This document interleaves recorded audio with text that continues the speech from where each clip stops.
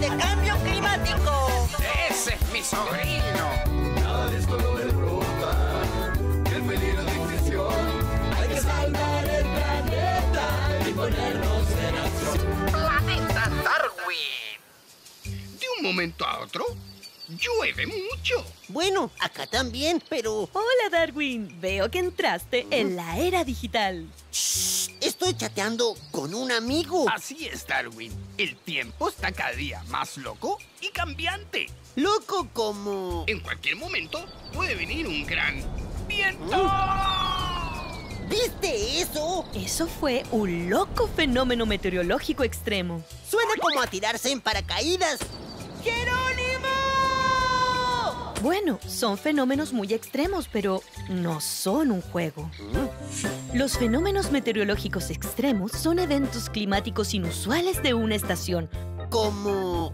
olas de frío o calor, sequías extremas y huracanes que causan importantes daños e incluso víctimas mortales.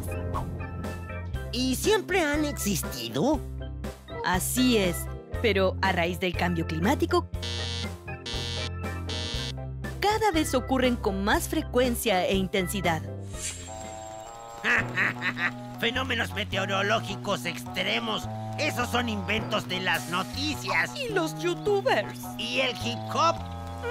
están cayendo unas gotitas. Ahora van a decir que esta es una lluvia extrema.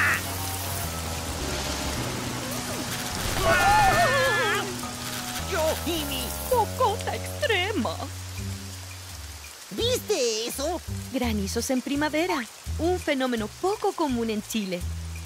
¿Y por qué se le ocurrió venir ahora? Estos fenómenos que ocurrían muy de vez en cuando, ahora son más frecuentes, lo que se relaciona con el cambio climático.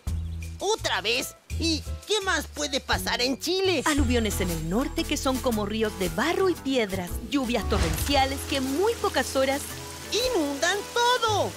Sequías y olas de calor en la zona central que arruinan las cosechas y mata de sed a algunos seres vivos. ¡Mamita! trombas marinas y mini tornados en el sur y la disminución de los glaciares en el extremo sur. Como en el clima tropical de mi amigo. Ranas al pilpil.